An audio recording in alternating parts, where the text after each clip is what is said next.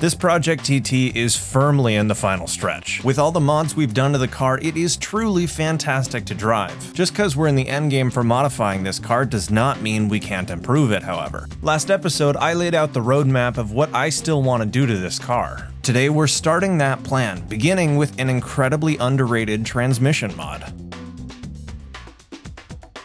What we're upgrading today is a little bit obscure if you're not well versed on how clutches work. The clutch system is hydraulic. When you depress it, you're moving a piston inside the master cylinder, sending fluid through a line. This hydraulic fluid translates force through something called the bleeder block and finally into the clutch slave cylinder. The slave cylinder activates the clutch fork, disengaging the clutch, which is when you're able to shift gears. Today we're upgrading the performance and reliability of the bleeder valve.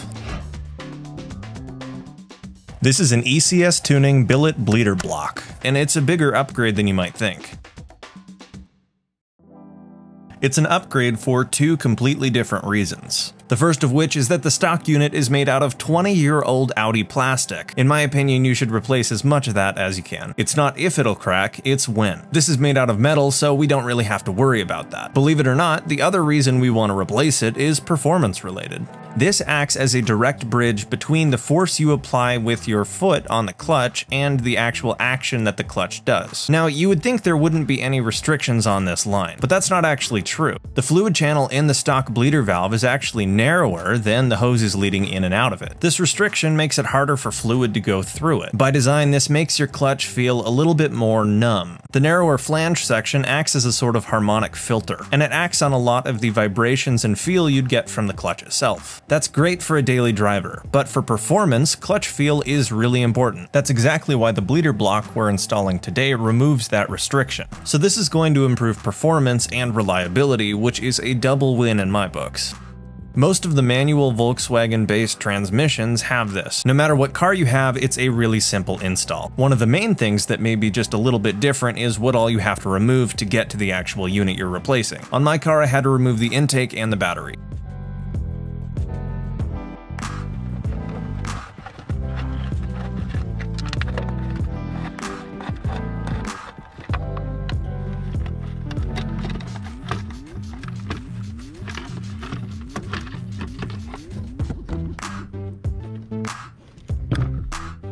I just found a huge broken pipe.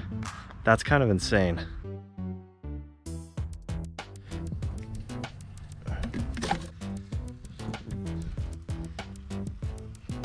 That is not supposed to be broken.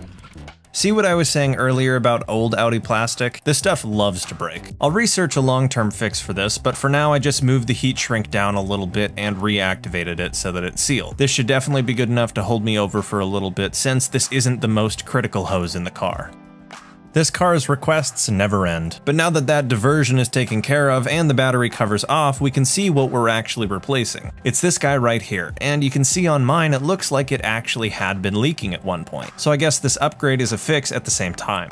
This is full of fluid, so I shoved some paper towels underneath in preparation. Any job where you're dealing with fluid can get a little bit messy, so better safe than sorry. There are two metal clips on either side of the bleeder. These help the O-rings stay in the right position to seal the line. And to remove the old bleeder, these are kind of the only two things that need to come out. Then you can just slide it right off, but be ready for fluid to get everywhere. It's not under any pressure or anything, but it is full of fluid, so it's gonna drip out. Now that the piece is out of the car, we can get a better look at it. Both of the clips were broken as I removed them, so those could have definitely been causing the leak. Either way, the billet piece is definitely going to be an upgrade. The ECS kit comes with replacement O-rings, but that is where this can get just a little bit confusing. It comes with two standard O-rings, but you need to remember this kit is designed for multiple generations of these transmissions. If you have a Mark V or newer based car, then just use the O-rings it supplies. But if you have a Mark IV based car, like mine, you're going to need to reuse a different style of O-ring that comes on the car. The actual transmission side, you can use the standard O-ring, but for the other side, this is what you need to use. Otherwise, it's not going to seal and it's going to get everywhere. When you do get the O-rings replaced, you can snap everything back into place and get ready to bleed the system.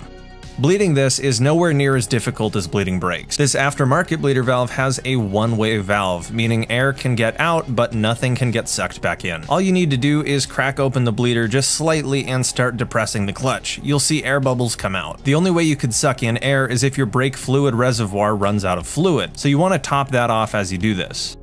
My approach was to pump the clutch a few times, and then I would check the level in the brake reservoir. I would repeat this until I didn't see any bubbles coming through the line anymore. Then you can tighten the bleeder valve. Unless this is tightened, you're not going to have very much or any pressure in your clutch. You'll know you sucked in air or have a leak if you press in the clutch and rather than springing back up, it stays down there, and there's almost no pressure behind it. First place to look is to make sure that your brake fluid reservoir is full. Once that's done, you can button everything back up.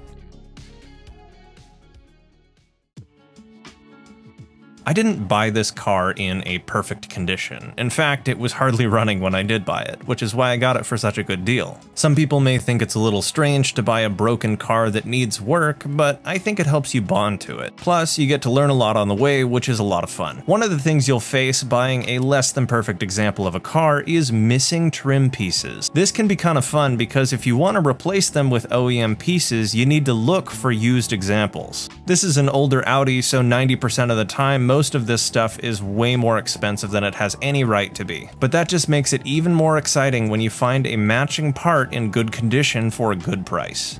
Over the course of my ownership, I've been collecting some pieces to replace that this car never came with when I bought it. I think this is the perfect week to start installing them. The first piece I'm replacing is this selection of buttons down in the center console. I have had to use my key to open my trunk since I bought this car, so I am very excited to finally have a button for this now. This piece was not necessarily a hard to find piece, but it was egregiously expensive in the States. Over the course of the past few months, I had seen a few of these legitimately sell for around $200, which is way more than I would ever spend for something like this. I'm glad I waited because this one was nowhere near that price and it actually made sense to buy.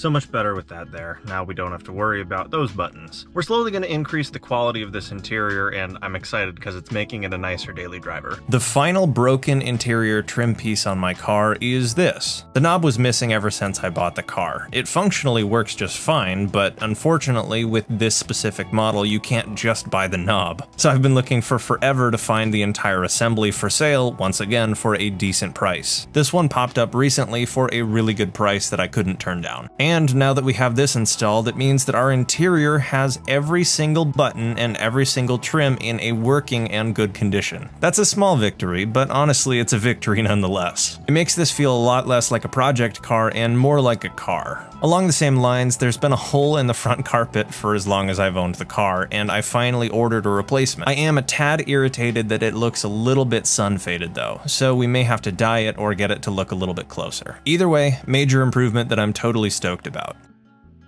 So let's get back to the bleeder valve. This mod is incredibly cheap and honestly, it may be one of my favorite cheap mods out there. It's a bit difficult to describe what kind of a different feeling this bleeder valve causes. It made me realize that before the bleeder valve, there used to be a small delay between when I pressed down the pedal and when the clutch was actually activated and I could shift gears. That's entirely gone now, and the clutch feels so much more direct. You also get just a bit more feedback through the pedal whenever you're actually engaging the clutch. I could see this being useful in learning the grab points for hill starts or something like that, or just getting super used to it so that you can shift faster. In other words, it's a fantastic upgrade. The metal's also going to be so much more reliable. I read on some forums online that you can drill out the restriction in the stock bleeder valve if you want to just increase the performance. On all those forums it says it gets you about 85% of the performance that this upgrade does. But in my opinion, the billet bleeder valve is cheap enough that you should probably just do this. You get the reliability, which is huge in my opinion. This car is really starting to come together and I couldn't be happier. Thank you so very much for taking time out of your day to watch my video. The support we've been getting is insane and it means the world to me. If you enjoyed the video, learned something, or want to see more, consider dropping a like and subscribing for more. It's the best way you can support me and my content. Either way, I'll see you guys in the next episode. Thank you again for watching, have a wonderful day.